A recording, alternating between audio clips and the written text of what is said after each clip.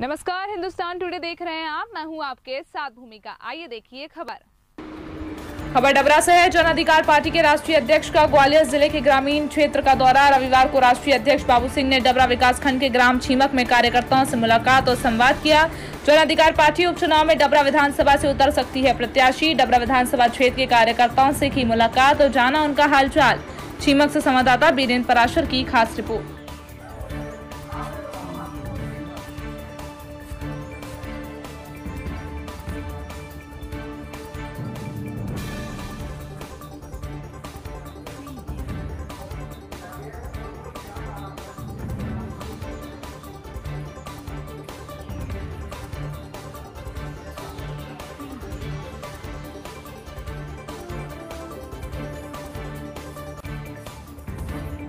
जानने वाले हैं। मेरी पार्टी जो है, जन अधिकार पार्टी, उसके पदाधिकारी भी हैं यहाँ।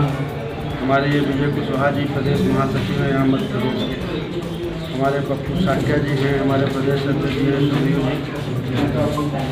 तो यहाँ बहुत सारे साथी मिलने वाले थे। बाई इलेक्शन हो रहा है यहाँ। तो उस बारे में भी हम सोच रहे हैं कि हम भी अपनी शुरुआत करें मध्य प्रदेश में वैसे जब मध्य प्रदेश का जो जनरल इलेक्शन हुआ था, उस पर हम लोगों ने पार्टिसिपेट किया था। हम लोग लगभग 50 सीटों के करीब लड़ाए थे। अब क्योंकि कांग्रेस की चुनी हुई सरकार थी, उसको भारतीय जनता पार्टी ने गलत ढंग से हटाया और अपनी सरकार बनाई। तो इस बारे में लोगों की क्या ओपिनियन है? हमें अपने संगठन को कैसे मजबूती मिलेगी इन सारी चीज़ों को लेकर के मैं यहाँ घूम रहा हूँ लोगों से कहीं ना कहीं आप मानते हैं कि कांग्रेस के साथ भाजपा पार्टी ने गलत किया है।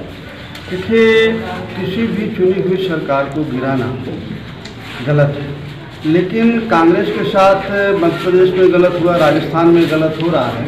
लेकिन जब कांग्रेस शासन में थी वो भी तो ऐसा कर कांग्रेस कोई दूध की धुरी नहीं जबकि कांग्रेस कांग्रेस भी जब सेंट्रल गवर्नमेंट में थी कांग्रेस में भी कुछ सरकार है।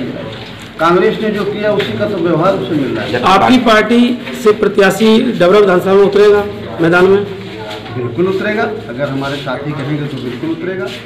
उतरेगा और मजबूती से लड़ाएँगे। मेरा दूसरा क्वेश्चन ये है